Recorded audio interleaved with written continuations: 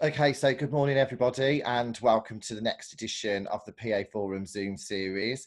Um, delighted today. One of my passions, um, I'm really glad to bring this to the forum, is travel, hotels, events, etc. So I've got three very, very close contacts, amazing people who are joining us today um, to come and talk and give you a little bit more of an update about what's going on in the hotel travel, business travel, and leisure travel sector. Um, so um, please, if you want to fire any questions over during any time, pop those into the chat box and I'll make sure I ask those for you. And there'll be lots of time at the end as well for you to ask any, any questions and hopefully we can give you some answers. So joining us first today, um, I'm delighted to introduce Chris from Click Travel. Hi, Chris. Hi, Dan. You all right? Yeah. Yes, very good. You okay? All good, thank you. Yeah. Good. So um, Click Travel are um, a, a, business travel agency, but they they look after air, rail, hotel bookings, meetings, events, venue finding, and lots, lots more. Um, so I can imagine, Chris, that when all of this hit, it was a little bit wow, a lot, a, a bit big bang all at once, was it? Yeah, it it was. Um, a lot of people, you know, at first were thinking, you know, this is a bit like the ash cloud, but it's been a bit like the ash cloud times like a million um, almost, and obviously gone on for for so much longer. Um, but yeah, it's um, it's obviously hit the travel industry um, incredibly hard. Yeah, yeah. I think it's been. Um, I think especially some of you that book travel um, probably had to make a lot of cancellations, a lot of amendments, etc. Who were on the call. Um, but um, what I was really Click Travel are PA Forum partners. They supported us during the our Learning and Development Conference last year, and are also partners for the West Midlands PA Awards. And I've seen that they've got some fantastic things coming up with them, especially with the Click Care initiative as well. So, can you give us a little bit more information about that, please, Chris? Yeah, absolutely. Um, so, um, yeah, uh, in terms of ClickCare, I'll, I'll give you a, a, an overview um, in the next few minutes. Um, obviously, we know that the last few months have been, you know, really quite extraordinary for both the travel industry and also for each and every one of us in our day-to-day lives. Um, we had social distancing, government restrictions on non-essential travel, and the closures of international borders all happening in a very short space of time. Um, but here at Click, uh, it was possible for us to help our customers manage these new restrictions very quickly within each of their online booking platforms. Um, so, yes, it's been a challenging time, um, but one where we've been really focused on how we can help customers understand the COVID 19 situation and manage the impact from a traveller's perspective. Um, we know that going forwards, our customers want to maintain control and help their travellers stay safe when they're ready to start booking more business travel as well. Um, so what we've been doing is proactively helping our customers handle government restrictions and give them total peace of mind that they can ensure compliance alongside the reassurance that if something changes whilst their travellers uh, are out travelling, um, they can easily track where they should be and those employees can receive the latest important updates about their trip as well. Uh, so we've we've taken the time to to repackage and improve various duty of care elements of our platform um, so that each and every one of our customers has access to our Click Care offering. Um, it's totally free um, forever. Um, there's a huge range of flexibility within this package um, that really is making managing this ever-changing situation um, as easy as possible. but there's three distinct areas where we deliver value, which are managing risk before booking, taking care of travellers after they've booked but before they travel, and then taking care of travellers whilst they're on their trip as well. Um, so before booking, we're helping organisations introduce additional controls, which can range from simply locking down certain bookings from being made um, to approvals being needed before a booking can be made from maybe management and HR travel risk teams if needed, um, to simply just notifications of bookings being made and daily reporting of new bookings. It all really depends on how much control is needed by an organisation and that organisation's view on traveller well-being. Um, we can also have multiple travel policies in place, you see. So for any organisation that is focusing on certain groups of travellers having different restrictions to others, they can do that as well. Um, if we see that certain cities or regions are defined as being COVID hotspots, and an organisation wants to restrict bookings to certain locations um, but enable travel to others, we can introduce those measures fairly swiftly. Um, I know certainly at the start of March, when some countries started to lock down their borders, we were able to introduce additional restrictions for customers within 30 minutes to ensure that no bookings could be made to those places. Um, or for some organisations, they just took the opportunity to block all overseas travel completely. Um, but we can also work really closely on supporting any changes that customers make to their travel policy by collaborating on branded in-app messaging that has their company logo so their users know it's an official internal update. Of course, these updates don't need to be policy related. It could be a general travel update that they wish their users to read and be aware of the next time they log into the online booking platform. Um, but I'm also very aware that tra some travelers may feel uncomfortable or nervous about traveling again in the future. And with that in mind, we've been working closely on collating as much supplier information as possible, such as what top used airlines are doing to tackle social distancing how train operators are taking extra measures to reassure travellers, and, and how hotels will be focusing on health and safety of guests with enhanced cleaning guidelines. While all of that information is available to our users within our help centre, we are also actively working hard on how we help users be more confident in their hotel choices within the platform when searching availability by introducing some clear indications for users to know that the hotel they select is better equipped to be handling things like social distancing and enhanced cleaning protocols. Uh, we know that when it comes to booking hotels, there is a huge amount of choice available. Um, so we feel that we can help make the lives of bookers a bit easier and let them feel more confident in choosing the right hotel. Um, all of that happens before a booking gets made. Um, but if I move on to what happens after a booking's been made, but before travelers started, um, we know that it could be that travel advice changes after making a booking. That's where it's important for organisations to know who they have travelling where, and for those travellers to also get the latest guidance as well. Um, certainly, our reporting gives any travel managers information on where they have travellers due to be at the touch of a button. We've got future dated reports which clearly identify what regions they have bookings to, and this is particularly crucial for any organisation who chooses not to implement any restrictions or approvals on the booking of travel, but just needs extra visibility of the bookings that do get made. Um, we also have the ability to pump out messages to travellers too. Uh, we manage this in a couple of different ways. Um, I mentioned earlier on that we have in-app messaging, um, but also travellers can receive disruption notifications from ourselves via email or text message.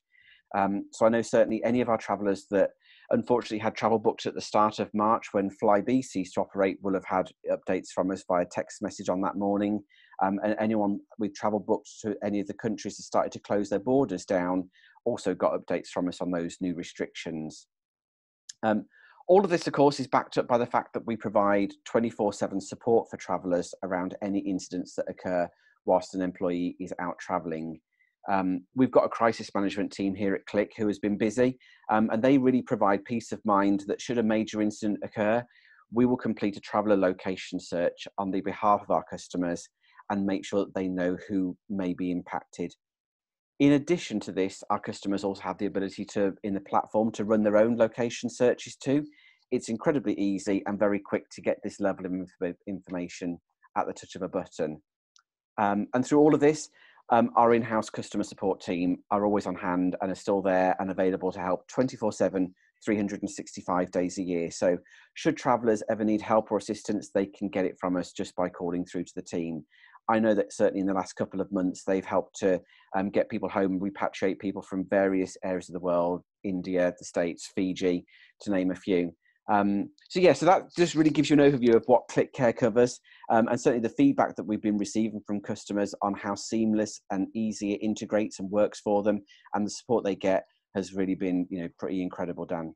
Yeah, I think I think it's I think it's fab because, for example, those those of you that might not use a travel management company particularly will have to you know searching around and talking to venues and talking maybe to your preferred suppliers and having to gather all of that information yourself whereas it you know you've got a really big you've got a big team there chris haven't you that look after so many different elements that can kind of bring all of that together. So and i know i know over this time a lot of people are going to be thinking about policies procedures and what's going to go into their travel policies and what Uh, you know what hotels doing what rail doing air doing to try and make that secure but things are just changing so much at the moment that it's just really nice to know that you can kind of get all that information in one place uh, yeah, I think I think that's the really important thing is just knowing that there's there's somewhere they can get it in one place and they don't have to go off searching for the information. It's all contained in in one place, and our our teams, our customer support team, our account management team, are all aware of that information, and you know certainly sharing that out to to our customers as well as them being aware that it's all available for them to to get into twenty four seven. I think it's just really I think people feel i think at the moment that i mean i probably certainly feel that it's like if you travel somewhere you just you you're there that it could just instantly change like that. And it's like what happens if the borders close? Or what happens with repatriation flights? And will i get moved to a different place? And all that kind of thing, and, and, especially the international companies that are staggering their office location um, reopenings. So it might be that some of those offices are closed in the UK at the moment, but if they've got multiple offices around the world, then some of those offices might be open and moving people in between there, etc. So there's just so much to think about, isn't there? Yeah, and um, and I think you know it's it's a real you know difficult time because businesses who want to send people overseas, they mostly have got travelers who are used to doing three or four overseas trips within the space of a fortnight. And those travelers are and the businesses are having to make decisions as to now with the quarantine being in place, which meeting or which trip is the most important that that traveller should go and do overseas. Um, so that's an extra element of of uh, difficulty in the in the mix as well. Certainly. Do you think businesses will be more um, obviously relook at their travel plans now do you think? Because obviously zoom has been quite effective in having meetings but i think we've all agreed in the past that will never take away from the face-to-face interaction that you get from a meeting um, but do you think that people will will still need to travel obviously as much as they did or do you think that you might see a change with that? Um, it's, it's a really interesting question. Um, we've certainly been talking to some of our customers where you know historically you know the account managers might have been saying to customers you know if you want to save money have you thought about having a, a no travel week or a no travel month at some point during the year? And we've got customers who have said that just isn't possible. It's just not something we can do. They're now being forced into having to do no travel and they've still made their businesses work. Um, and i think there will be an opportunity for people to go you know we need to relook at travel and really only travel when it's absolutely vitally necessary. And most probably that trip needs to have like a return on investment attached to it as well. Um, at the same time you just can't replace the fact that you know when people get together it's just you know different things come out of it and you can't replace that social interaction via zoom. I'm hearing great stories of how organizations have overcome you know things at the moment via zoom but you'll never be able to replace sort of like face-to-face meetings. Um, but i think it will just be that you know it will have to be you know for more important reasons that people actually get together in person. Um, i think that part along with the traveller well-being that you know organizations will need to look out for the you know the well-being of their travelers and not put them in any undue danger or risk of you know uh, of being on a train, for example, or an airplane, um, or in close proximity of lots of other people. So it's going to be an interesting few months, I think. Yeah, and I think the flexibility is going to be really important because it might be that the business need is for that person to go, but then it's like, is that can that person go? Do they want to go? Um, and I think the other thing that was really big, I think before obviously COVID hit, was um, sustainability. So yeah. It'd be interesting from venues perspective and travel perspective about sustainability because i think before this you probably saw that lots of different places were putting up, upping their sustainability policies as well. And i think that's going to be something that people are going to look at quite a lot as well as part of their business travel plan. Yeah, massively. We've we've definitely heard of organisations who are very keen to look at putting in a sustainable sort of like travel policy before this happened weren't sure how to try and do it. And now it's almost like the, they've had their hands forced to do things differently and it will make them just relook at what that what they do. Um, so yeah, no, awesome, interesting time, Chris, and thank you ever so much, and congratulations on putting all that together because you know it's it's, it's a mammoth task.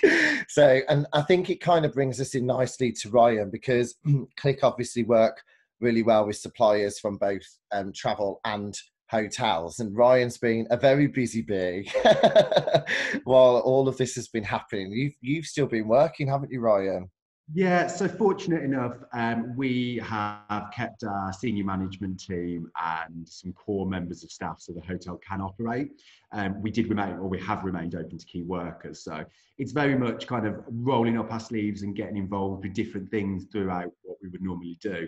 Um, but no, hotel is here. I'm still here. I'm sitting in one of our boardrooms. Um, so it's nice to still have a little bit of routine.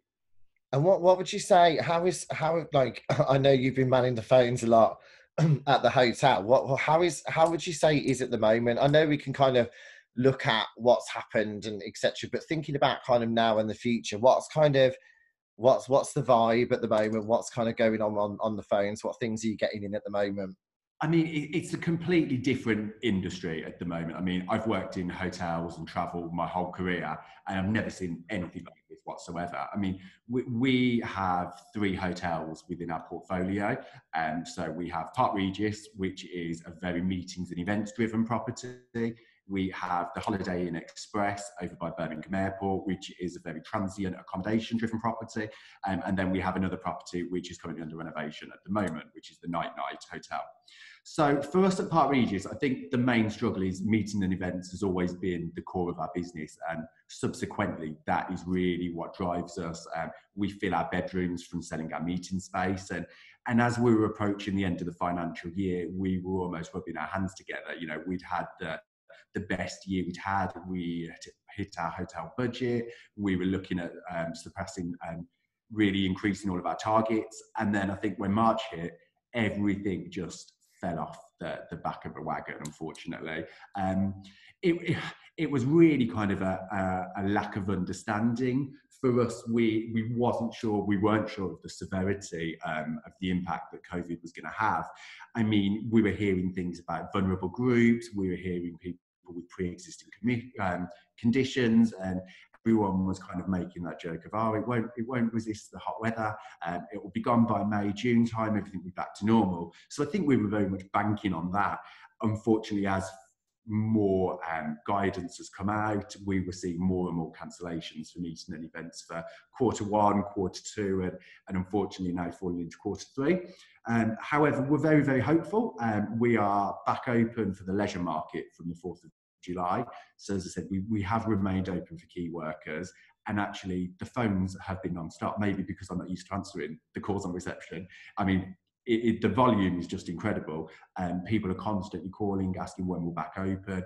I think, and, and Angela will probably touch on this a little bit later, but people are desperate just to get away. I think people have been stuck in their house for so long, whether it's a city break, whether it's an overseas break, people just want to go and stay for the night. And, and yeah, even though we are open to key workers and we would love to accommodate their requests, unfortunately, until the 4th of July, and we've got a little bit more guidance, then we are having to say no for, for the leisure travel market. Yeah, I think um, I think leisure travel is. I'm dying to um, get out there somewhere. I mean, beer gardens is a big one as well because obviously you've got that outside space at Park Regis as well.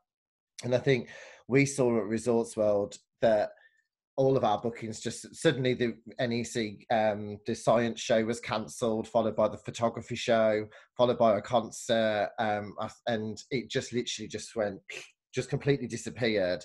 All went to September, October, November, but now we're seeing a lot of stuff being rebooked for quarter one, quarter two, quarter three next year, and I think it's going to be really interesting to see what availability is like and whether I, I think there's going to be such a. Uh, I actually feel quite positively there's going to be quite a big demand and might not necessarily be the supply. But as you say, I think meetings, I mean, if we can have a, I don't know if you can, or if you haven't got your camera on, if you could just show, do any of you organise meetings? Because I'd just be really interested just to see if you can just pop your hand up.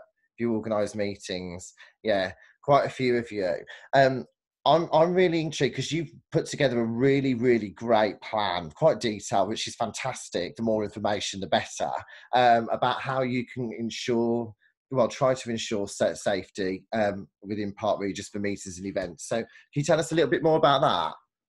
Yeah, of course. I mean, from a recovery perspective, I think we were all very much hoping that it was going to be a V-shaped recovery model. Everything would drop, and then a month later, everything would just go back through the roof, and we'll be operating business as normal. Unfortunately, you know that isn't happening, and, and what we think it will be very much segment driven. You know, we will find that the leisure market will return fairly quickly because people are desperate to get away. The transient um, business travel side of the market will then start picking up, and then the event side of the market will pick up. Um, I mean, Dan, I was on the phone to you earlier, and we had an inquiry for a meeting for the end of June. So actually, you know, there, there is demand slowly increasing. And um, we, we are really trying to stay ahead of the game and speak to the likes of the Birmingham Chamber of Commerce, and um, speaking to you know, the Hotel Agents Association, Hotel Booking Agents Association, speaking to the meetings industry, and really jumping on the back of that. Um, we are very fortunate that we are an independent hotel, and actually, where many hotels have just closed their doors, we've actually retained our team, been able to work on such comprehensive plans. And so, and, and actually, having never closed, the team have always been here to be able to work through that. So, what we have done is we've created a full master standard operating procedure um, which I'll share with you in a couple of moments. It's a very lengthy document, it's 47 pages. So if anyone wants some bedtime re- reading, let me know I'd be delighted. But a lot of blood and sweat and tears went into it. And we really, really had to take both our employee safety and our guest safety really seriously. And that has to be paramount.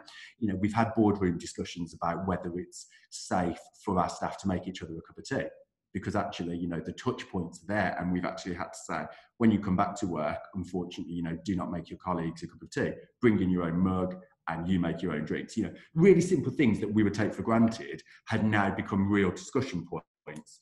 And so for us, we've split it down into two key areas. So we've looked at the accommodation and we've also looked at meeting and events. So I'll share with you and um, something that we've just done as a bit of a master document. Is this the full 40 pages? no, I didn't want to bore anybody. no, I'm joking. Can, you, can you, guys see my screen? So the yeah. COVID yeah. secure. So what we've done, so this is basically um, a breakdown of our 40 page SOP and we've broken it really into key areas. So we are looking at how we can look after our hotel, how we look after our guests, our team, um, we've launched a new cleaning procedure called PRB Clean, which is our enhanced cleaning. Um, how we've amended our check-in and check-out facilities, our bar and restaurant, meeting and events, and an accreditation. And this really has been debated at length. You know, a, a, an A4 document you think would be really easy to put together, but this has taken weeks of debate and deliberation. And, and then what we have done from the back of that is created our enhanced cleaning procedure. So we're really, really lucky. And what we found is as an independent hotel, we can make the decisions ourselves and just say, this is what we want to do. And we haven't got to consult a big brand. Uh, we are fortunate that our hotel is our head office and we can make the decisions in-house. Um, so this one, uh, bedroom cleaning procedure, again, has been breaking, broken down into nine steps. And this is really what we're sending out to our corporate clients to give them a little bit of reassurance in the market that we are taking our enhanced clean procedures very, very seriously. Um, so actually the biggest change that we've made is we've added an additional eight minutes per our cleaning routine. So each housekeeper and each room attendant would be preset uh, a certain number of minutes to clean a room. Like I said, we've increased that to eight minutes to allow for the additional checks. We have brought in UV light technology. So once the rooms are cleaned and serviced by um, a housekeeper in full PPE, we would then have a senior room attendant would go in with a UV light. And it does look like something out of a science lab. They will go in and turn all of the lights off, shut the windows, shut the curtains so you are in full darkness and physically go through each room with a scanner and you know ensure that those high touch point areas such as um, you know, door handles, um, light switches, TV remotes, and things like that have been fully sanitized, and there's absolutely no trace of anything. I mean, Park Regis was always sparkly clean, and we were always fortunate that we've got a great housekeeping team. Um, but it's really just that additional due diligence um, that we can say, right, the room has been checked, and and things that you see under a UV light, you are not normally used to seeing. it does show up a lot of differences. If I'm be honest. And so that's what we've been doing in terms of an accommodation. um, provision. We've also invested a lot into keyless technology. And so what we are currently doing is working with our key lock provider. They are going to be updating all of our key locks. Uh, clients are then going to be able to download an app. They're going to be able to check in and check out through an app and actually use their key, so use their phone as a key to open their room. So that really eliminates any touch points. So they don't have to go through the traditional check in at reception, um, grab their key card. It's really eliminating that service, which, which is a great show. You know, we, we are a four star luxury hotel. We are known for our service and, you know, people want to check in at reception with a smile and, and see friendly staff. But unfortunately, we really have to look at it from a safety perspective. Reception will always be there, you know, going, greeting people as they arrive. Um, but yeah, we have had to look at it as a more safety perspective and eliminate those touch points. Fab. Have you got one for your meeting rooms as well? I have. It was like I knew what you were going oh, to ask. Dan. Yeah, there we go. Fantastic. Thank you. Really, for us, you know, every I, I, I, really touch upon the whole independent piece, and it's so important for us because, as I said, we are able to make our own decisions and react quite quickly. And a lot of larger hotel brands have come out with blanket agreements, but every single hotel will be completely bespoke.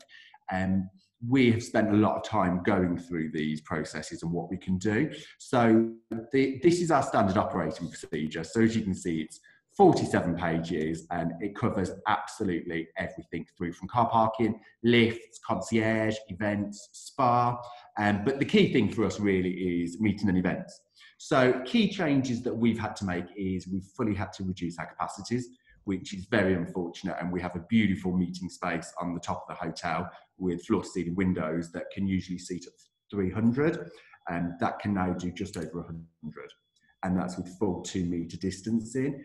And there is talk, obviously, about the government reducing those guidelines down, and which is great for us because we can get back up to operating at full capacity. Um, but at the moment, every single chair, every single table, and every touch point has to have a two metre difference. And until a vaccine's put put in place. We don't know how long that social distancing is going to last, but we are equipped and we are ready. I think advice for anyone out there that is booking meetings and events, make sure you are asking properties for larger spaces because it's very easy for them just to put you in a, a room that seats 14 for 14 people. But actually, three months down the line, if social distancing is still in place and they don't have larger rooms available to upgrade you to, I think that's really where um, you will potentially come unstuck. So we're fortunate that we are already giving everyone larger rooms to comply with that social distancing. Um, we've removed non-essential items from all of our meeting rooms. So silly things that you would take for granted, such as pens, paper, stationery boxes, that is all now upon request. So we will have a sanitised um, selection of those items. They won't be put out. You will physically have to ask for them, and then we will provide them with you just to again ensure that people aren't picking up a pen and then putting it back. So there's a lot of extra staffing work involved, but if it means us being safe and secure, that's what we have to do. Um, we have upgraded our boardrooms to have Zoom technology. Um, I think we're hearing the word hybrid thrown around a lot, and everyone has got their own kind of ideology of what hybrid is and how it's going to operate. Um, for us, it is operating by two ways. So via Zoom technology, whereas we can have four or five people around a table and then the rest of the clients can, rest of the delegates can be on Zoom. Or the other option is we have an in-house AV company. So we're very fortunate that all of our AV is on site. We have technicians on site. And what we are finding is those larger events that we would normally take for 200 people, they're being reduced down to four separate events of 50 and being held regionally and then streamed and live streamed or the other option is splitting it into four separate rooms within the hotel and having a central streaming system through that. Um, I think there is positives and there's negatives. I mean, the big positive is obviously safety. You know, that is enabling everyone to have larger meetings safely and securely. Um, it is more cost effective, um, but I think the big thing is nothing replaces that human interaction. Face to face simply just can't be replaced. Um, and actually, I think people get a lot more from the bar at the end of a meeting and having a, an informal discussion as opposed to actually sitting in a boardroom. You know, you can say things outside of a meeting space and catch up with colleagues that you wouldn't necessarily be able to say into a boardroom. I think, I think, Ryan, if you don't mind me just asking that, I know there's some people on here that would normally, you know, client entertaining, dinners, all that kind of stuff that used to happen before. You know, how is your restaurant kind of prepared? Is that has that been replaced so it's all kind of socially distanced as well? We have. So um, at the moment, we our restaurant outlets are closed. So our restaurant and bar was closed until more information on the fourth of July. Um, for us, we have reevaluated our restaurant capacity as well. So we've had to make sure there's two metre space um, between all seats. We are hoping that we can open our outdoor terrace earlier, slightly early, because that is outdoor space. But again, subject to more government guidance. Um, we are having to make sure that all of our staff can pre-serve and serve things with full PPE. So banqueting staff will now be fully um, covered with masks, gloves, and adequate. Things like teas and coffees, you know, you'll be no longer able to just go and grab a cup of tea and coffee. Everything has to be pre-poured to really eliminate those touch points. I mean, I just can't imagine. I can't imagine going to a restaurant and seeing somebody coming over to me with a plate of food with full PPE. It's just going to be absolutely yeah. weird. It's just going to be so weird to see it's completely different and you know for us again it really takes away from that whole luxury experiential dining um, facility but if safety has to come first safety has to come first Absolutely. customers have been a bit more forgiving you know whereas they a client would normally come in and have a, a five course fine dining experience or you know a, a, luxury lunch they are happy to have bento boxes and takeaway options and and things like that. So um, yeah, it's big, big, big change for us, but think, we're working through it. Do you think the uh, the uh, the standard conference buffet will be gone from now on? What do you think? I do, and you know, gone are the days where you can go and grab five chicken skewers, you know, five samosas, and really just load up on your carbs.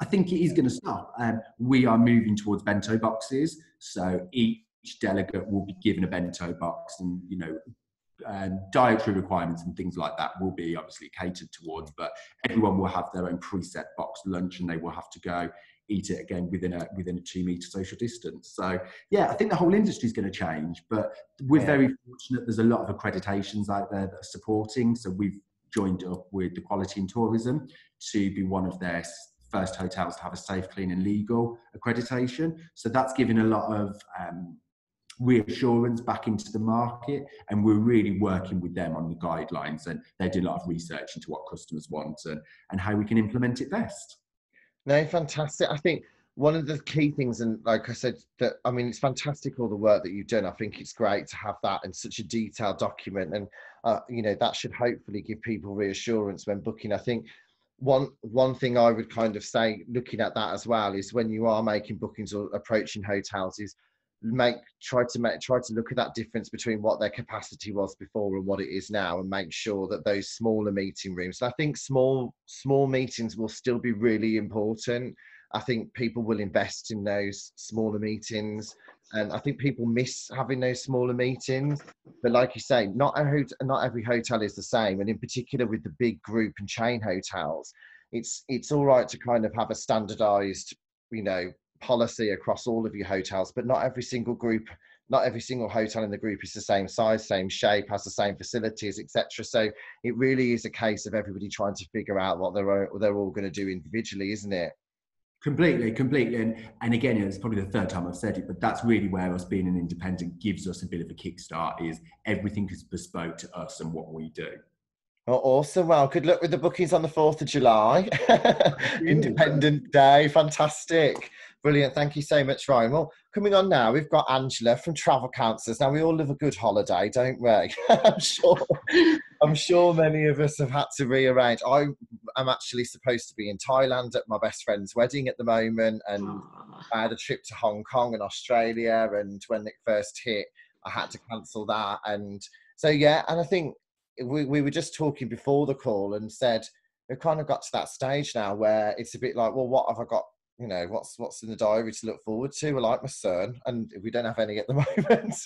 um, so Angela has come to brighten up our day. How how are you doing, Angela? I'm okay. I'm okay. Difficult circumstances, of course, and the travel industry has been totally knocked off its axis, and you know we're all kind of um, the blind leading the blind sometimes. But you know it's um, it's been a massive learning curve, and um, I don't know whether it was a great experience, but it's been an experience. Um, but you know, it's it's getting better, and um, yeah, I'm, I'm looking forward to things getting a, back to normal as much as they can. Um, so I yeah, think, I think even even people just talking to you about a holiday, I bet that just gets the juices going. Do you know what I Oh, mean?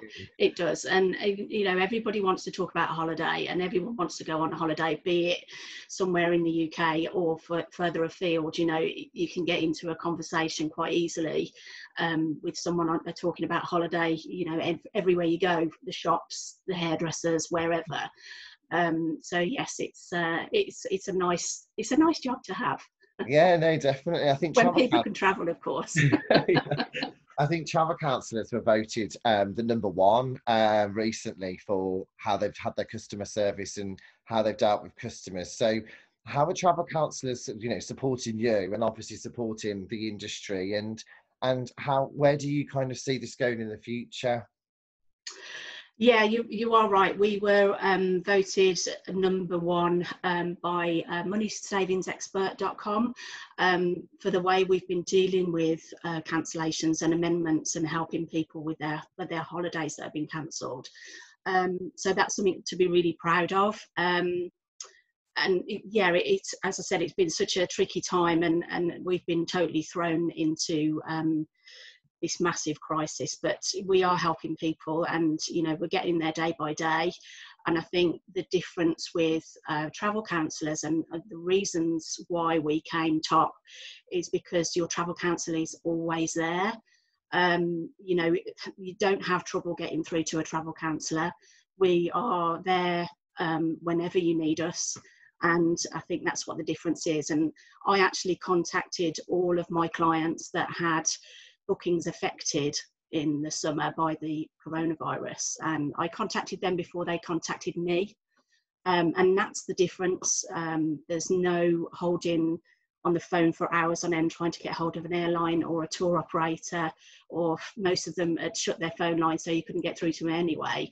And then filling in online forms, which is just not the way we go. It's very personal with us, and you know we we like that interaction and speaking to people. So that's I think that's where we've stood out, and that's the reason why we've come top of the shop.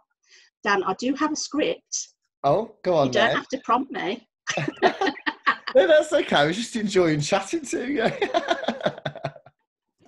I promise I won't repeat it. I, No. I do have a tendency to waffle, and I thought if I write a script, I'll probably stick to it better, and and things won't go a bit crazy. and We'll be here No for hours. No worries.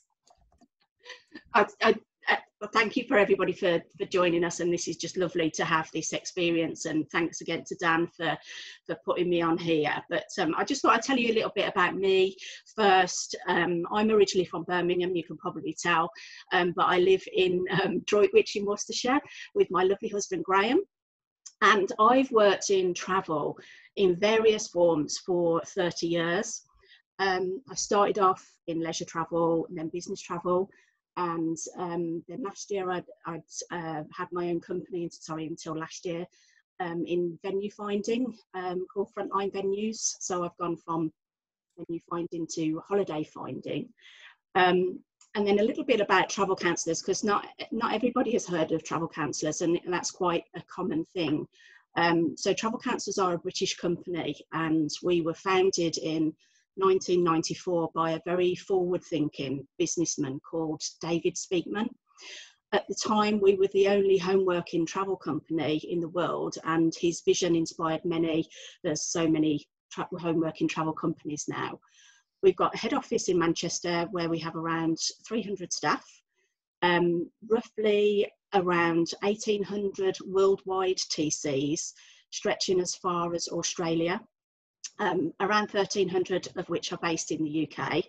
We're all self-employed and home-based, um, but we are real a real travel family, and our amazing technology helps us um, connect with each other on a daily basis. And we've got a TV studio in our head office in Manchester, which brings us all together.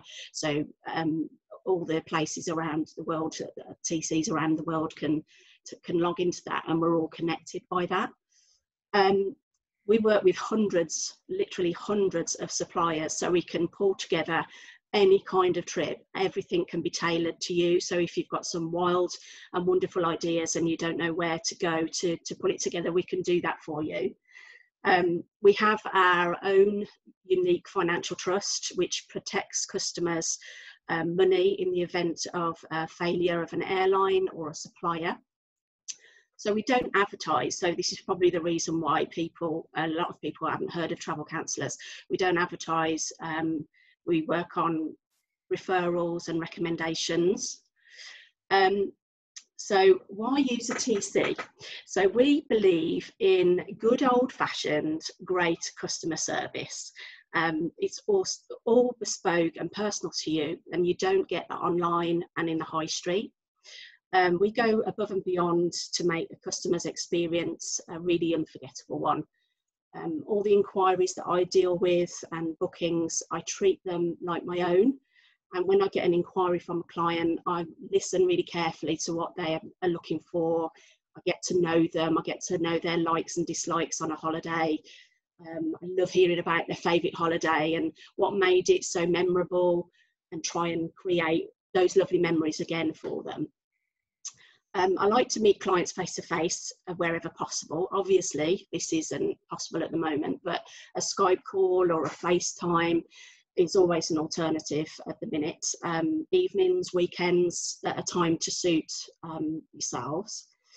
Um, unfortunately, there are issues um, that people don't probably realise with booking flights and hotels online separately as this means you're not um, at all protected.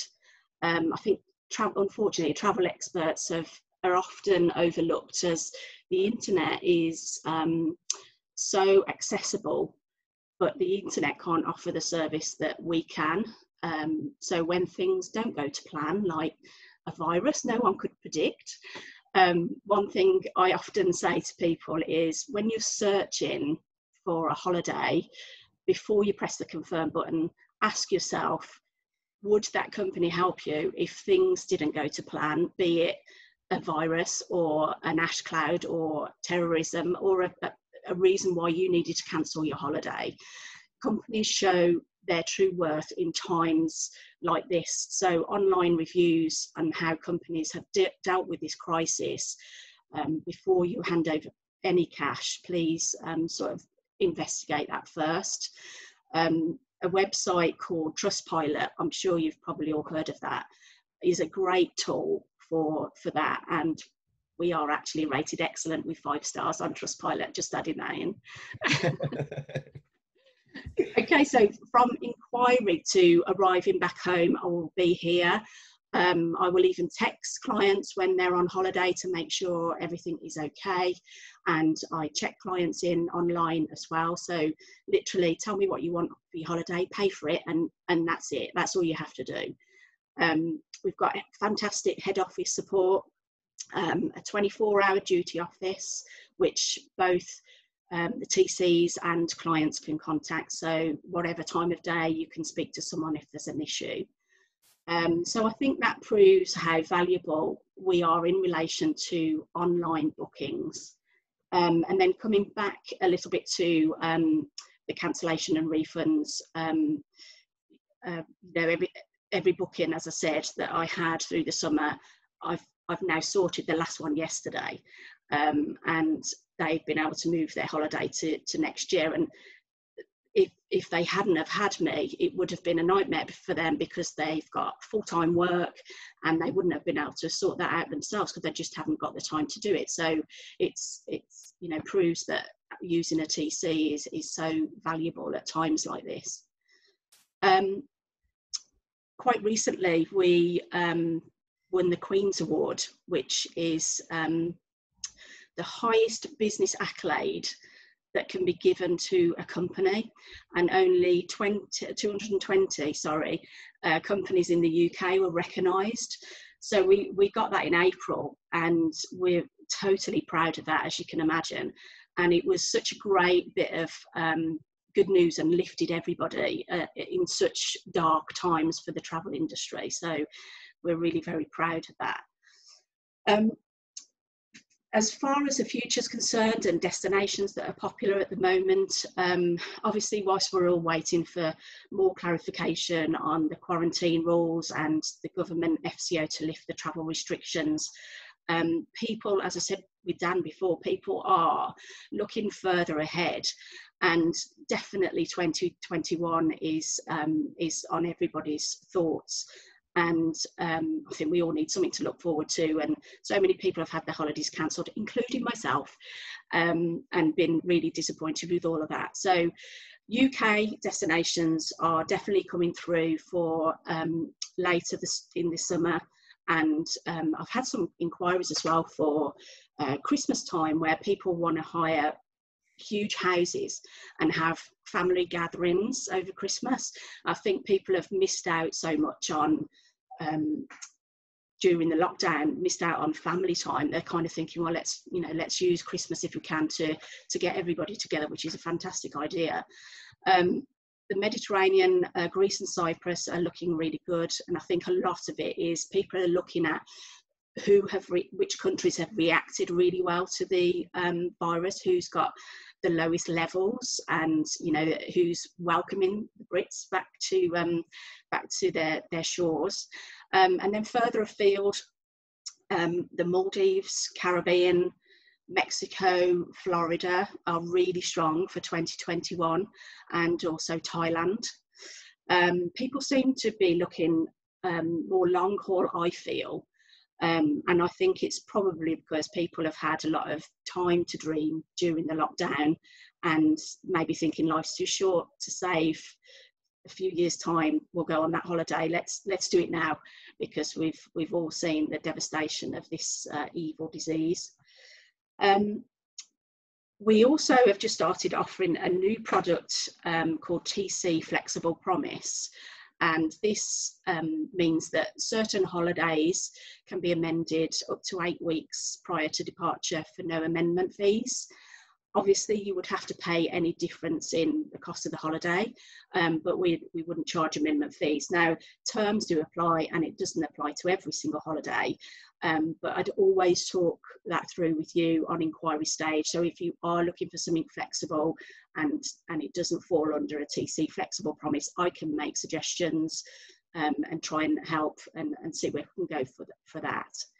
Um, so Dan, I didn't ask you at the beginning, do you send uh, details to people for social media, for following and stuff like that? Yeah, yeah. So I'll send an email. I'll send this recording as an attachment to everybody on the call and copy you guys in. And then obviously, if anyone's got any, we'll answer some questions on the call today. But then if anyone's got any further questions or wants to talk to anybody individually afterwards, then you can do as well. That's cool.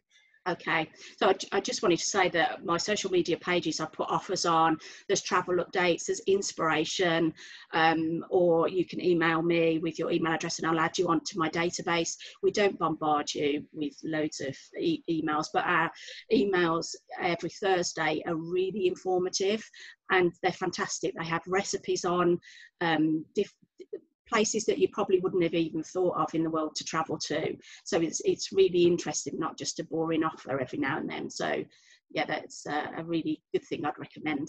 And that's about it. Thank you. No, you're welcome. I think that I think it's great that you touched on UK breaks because I think a lot of people will might just might look at travel counsellors and think, oh, overseas, you know, you've got that beautiful sky behind you, which we won't find here for a few weeks. No, I'm not getting the suntan. we do, but um, yeah. So I actually put an inquiry into Angela because I'm working. I was looking at my uh, friend's 40th in January. We wanted. He's wanted a house with a pool and in, in the UK, and she came up with about I think God I think there was about twelve options. Loads. Angela loads um, and he absolutely loved them. So that was a great idea. And I've seen the stuff you've been posting out about Christmas as well. I think that's a fantastic idea. Um, yeah, so, yeah. I think if anyone's got any, if you're thinking about inspiration or if you're thinking about, oh, you just want to have a chat and see where you might want to go to next, then Angela's definitely for you. I can highly recommend her as well. So thank oh, you so thank much, you. Angela. Um, so we'll open it now. I'm, also, I am just interested, and um, you can use the reaction box as well. Does anybody, because you do get private PAs, and you get PAs that look after high net worth individuals as well. But has anyone ever been asked to look at a holiday for their boss? I'm just interested. No? Because I have there are some people that have literally, you know, their boss really wants them to organise their holiday as well, and I think that does happen sometimes. So watch out for those, Angela. They'll be coming. Yeah, lovely. um, so just to open it up, if anyone's got any questions, please take yourself off mute. Um, please, if you've got any questions for any of our panelists, Chris from Click Travel, Ryan from Park Regis, Angela from Travel Counsellors. Um, Stuart, you've got a question, haven't you? Yeah, I'm over. I'm overly eager today. I'm very sorry. That's okay. Um, yeah, I just want, I just wanted to say thank you to all four of you. Really, um, I, I travel travel consult, consultancies and something that I've um, I've looked at in the past. Um, I normally sort of short haul flights, book it direct. Um, but I've got a, a, young family now and stuff, and I'm looking to go long haul. So I'll uh, I'll be in touch, Angela. Great. Um, my, my, questions are more for Ryan and Chris, really. Um, so my my background is I run Big Bear Comms, um, and prior to coronavirus, I was working with um, the Park Hall Hotel in Wolverhampton, uh, the Glee Club, comedy clubs everywhere down from Glasgow. Um, and I was ju- also just about to publicise the um, Midlands presence at MIPIM in Cannes. Um, so my question, it's a, it's a fairly obvious one in considering my background, but I, am quite interested in how you're, particularly you, Ryan, how you're commu- communicating your your um, changes with press, because I, I, I, know that you did cover um, everything that you, you're saying to direct customers. Have you invited the local TV cameras in or newspapers to look at all the changes you're having to make? And then also to, to Chris, similarly, all the all the changes you're able to support hotels in making how are you communicating that to the wider hospitality industry? Definitely. So we're quite fortunate that we've got an in-house marketing team. Um, so we've got an amazing marketing manager who has been fortunate enough to do a lot of press releases for us. And um, so we are of constantly communication with our own customers and we're utilizing LinkedIn quite a lot. Now, I think for us, it's really important not to be selling and actually it's all about raising awareness to people. Um, so, I mean, LinkedIn, you know, we, we put our first video out there about what we were doing. We wanted to do something different and video video it instead of actually going out there with a with a blanket email to people. Um, and I think within the first day we got about five and a half thousand views, so there was a great reach on that. And in terms of media coverage, um, we are very fortunate. We were on BBC Midlands today last week. Um, so we've got great connections with the BBC. So they actually came in, had an interview with our managing director, and um, done some videos of the rooms and what we were doing and our new cleaning policies. It was really funny. The, the first um, headline was, You're not in a science lab, you're actually in a Park Regis bedroom, because we were showcasing the um, UV light technology. So we're really, really fortunate that we've got really good connections within the media. And I think because we're one of the first hotels to really go out there and say, This is what we're doing, this is how we're resolving it, there's been a lot of traction from that. Excellent. I, I, think it's it's particularly something that I want I want to talk to uh, to talk to the Glee Club about in detail because obviously they've been hugely affected by by this. And it, um, I, will I'll, I've got a second question, but I'll let I'll let Chris respond first. Ah, um, thanks. Um, yeah, I, I, I, guess a bit, a bit like um, Ryan was saying, we've got you know an in-house marketing team um, that are all over this sort of stuff, and we're doing a lot of work with um, industry journalists, so the likes of Skift, of Business Travel News, um, doing a lot of work with with their journalists, and yeah, obviously using the likes of LinkedIn a huge amount. Um, but um, the, our account managers deal with a lot of sort of like the, the actual customer communications um, and we've got a supplier manager who looks after um, you know contacting with our suppliers, such as Ryan, for example, um, so that we've got the updates coming in from the hotels as well. Um, but yeah, our, our marketing team um, look after a lot of the, the media side of things, really, um, which is heavily sort of like business travel orientated. Yeah. Yeah, I can imagine. Well, my, my second question, and I, will have no more because I don't want to, don't want to hog. Um, but what do you, what do you, I think also the, the speakers, but also the whole panel, what, what do you think the impact of um, major tourist attractions like tourist, uh, like um, Chester Zoo reopening uh, is going to have? Um, I know it's, it's started to have a bit of controversy recently because there's um, with the schools not being fully open, there, there is a question as to why zoos and other attractions are, are being opened. Um, but I think that they're, they're one of the organisations that I've watched quite carefully throughout coronavirus. and I've found um, similar to what you were saying, Ryan, in terms of the education aspect um, and the amount of content that they were giving away for free. I think I think they really handled the um, PR and marketing approach really well, and now it looks like they're going to be one of the first to open. Yeah, I, I, well, I think zoos. The fact that zoos are open because I, I did say why McDonald's drive-through open and not West Midlands Safari Park because yeah. that's just crazy to me. West and when you've got kids off school and you know I can't imagine. I've spoken to so many moms and dads that are just literally like, what on earth have I got left to do? They've done festivals in the back garden, spa experiences. They've got the kids to pretend that they're checking them in and going to the airport on holiday and all these fantastic ideas. But you know, when that announcement came out the other day, I'm not a parent, but on my heart just sank when I thought to myself, they can't go back to school until September and they've had all this time to try and keep them busy. I think zoos and and, and particularly places like West Midlands Safari Park opening because they were talking about opening Alton Towers first, and I just thought to myself, you know, zoos are out, outdoor spaces where you're not sharing necessarily, you know, or you're not on a ride sharing, you know, with different people. I, I put my personal opinion was that was that it's a fantastic thing that they're doing, and I think it's really great to be able to save the zoos as well. I'm going to be going to West Midlands Safari Park. I don't know about anybody else. Yeah, no. I, I think, I'm, I've run out of things to do. So yeah, it's um, it's it's a, it's a point. It's an education opportunity as well, isn't it? So yeah, more so than the back garden where I've already built a beach and like got my hammock up and all kinds of mad stuff. Yeah, I must admit, some, some of the account managers that, that I look after, um, the amount of them that have been having teacher training days, and I'm like, well, is that is that you actually getting taught by the teachers? And they're like, no, no, uh, like I just want a day off. So, um, um, but I also think, you know, as well as it being good from an education and being outside sort of element, I think having leisure attractions like zoos reopening will just start to restart a bit of confidence out there as well. And people, you know, will go, actually, I've been to the zoo today and tell their friends and go, it's all right actually. And it just starts to, you know, I think reinvigorate people's um, confidence in being out and about and, and going to places. Mm. So it can, it can only be a good thing. Absolutely. Yes, definitely. No, thank you very much, Stuart. Great questions. Really appreciate it. Anybody else got a question before we go today? Anybody else want to raise anything?